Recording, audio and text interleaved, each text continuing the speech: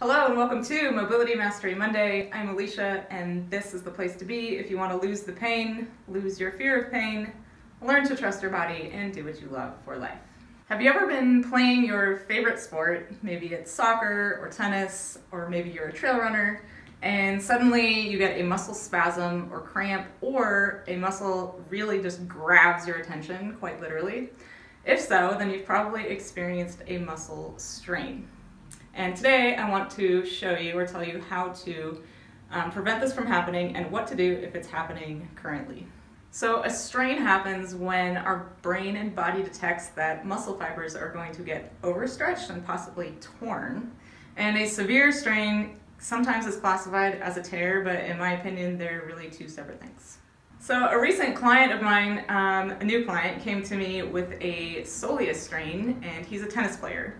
And his soleus literally was balled up um, in the middle of his calf. You could visibly see it stuck in a contracted state. Now, why would this happen? Well, in tennis, we're required, if you play tennis, you're required to do a lot of stops and starts and forward, backwards, sideways movements. Um, so your ankle stability and agility are critical for you to do this without something like a strain happening. So the stabilizing muscles of the lower leg need to be both strong and flexible. And if they're not, something like a strain is going to happen. Now, our body has built-in systems to prevent things like strains from happening, um, kind of systems on top of systems. Um, and one of the first things that uh, the body does to ensure that a strain or tear actually isn't going to happen is something called reciprocal inhibition. Um, this is when two opposing muscle groups work synergistically to um, act on a joint. So every joint has opposing muscle groups that either flex or extend it. Um, for example, uh, the quadriceps act on the knee as well as the hamstring, um, and reciprocal inhibition is happening when I contract my hamstring, the quad has to stretch and relax. Um, if it doesn't, both muscle groups would be contracted at the same time, and that is when a tear is very likely to happen. So reciprocal inhibition really just means that um, if you contract one muscle, its opposite naturally relaxes to allow that to happen. So another way our body will prevent a tear is through something called a stretch reflex, and it's reciprocal inhibition combined with the stretch reflex that if you use to your advantage can help you recover from a strain and hopefully, ideally, prevent it from happening in the first place. A stretch reflex happens when we move a muscle fibers through a certain range of motion and if our brain detects that those muscle fibers could get torn if they keep stretching, it'll enact a powerful contraction to bring those muscle fibers back and stop them from being stretched. Sound familiar? So this is kind of where a pulled muscle or the strain actually happens. It's when a stretch reflex occurs to prevent a tear. Okay, so bringing these two things together, reciprocal inhibition and the stretch reflex, if your body detects that two opposing muscle groups are contracting at the same time, it'll likely enact a stretch reflex to prevent a tear from happening, and this is when you get a pulled or strained muscle.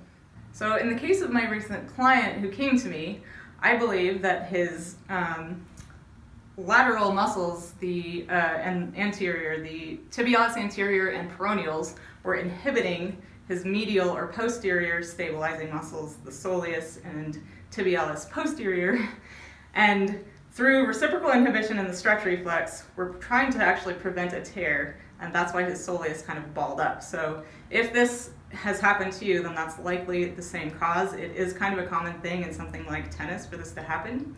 Um, the most common areas that we get strains or pulled muscles are the calves, the hamstrings, the groin, and maybe the neck. If you've ever, you know, slept wrong and woke up and you can't even turn your head from side to side, that's probably actually a stretch reflex um, enacted in the neck to prevent you from tearing your trap muscle. Okay, so what do you do if you're currently experiencing a strained or pulled muscle? Well, my number one piece of advice would be go to its opposite and release that, release the fascia in that muscle, or use a PNF stretch to get the muscle fibers to relax. So for example, if it's your calf, you have a strain in, you would want to go to the tibialis anterior or the peroneals. If it's your hamstring, you'll want to go to the quads. Um, if it's your neck, you might want to actually go to, um, if it's the back of the neck, the traps, you might want to go to your SCMs or scalenes, something in the front, um, and on and on. So no matter where your strain is in your body, you'll want to look for its opposite and go to that and try to relax or release it.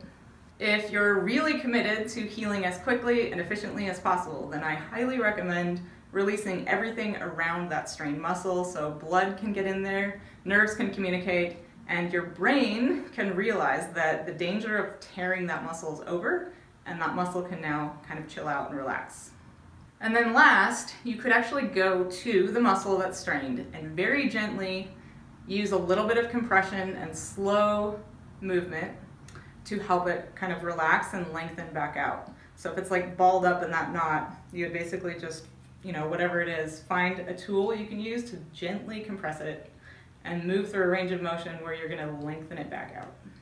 Now, in order to prevent strains from happening in the first place, you'll wanna make sure that your most commonly used muscles and the fascia within them are lengthened or flexible and that the fascia is released.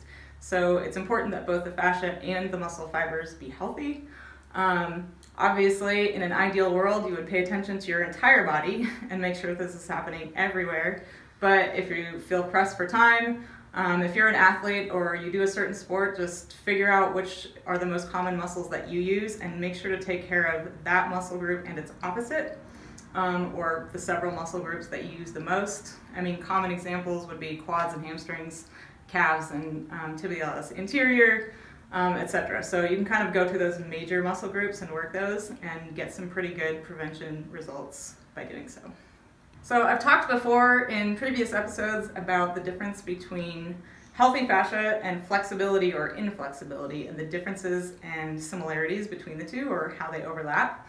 Um, in the case of preventing strains or pulled muscles, both are really important. So if you're an athlete, you definitely want to have some kind of fascial release um, practice that you do to keep your fascia healthy. And you want to make sure you're mobile and flexible and those muscle fibers are able to move with you through whatever range of motion you're asking them to. All right, let's recap. A strain is most likely to occur when reciprocal inhibition isn't functioning and opposing muscle groups start to contract simultaneously. Your body detects the danger of a tear and enacts a stretch reflex, resulting in a pulled or strained muscle. And tip number one to relieve the strain is to release the opposite muscle group. And tip number two is go to whatever is strained last and help it relax rather than trying to go to it first and force it to relax without taking care of its opposite that is inhibiting it. For the full blog post accompanying this video, you can click the link below. If you want exclusive updates emailed to you weekly in our newsletter, you can subscribe at mobilitymastery.com.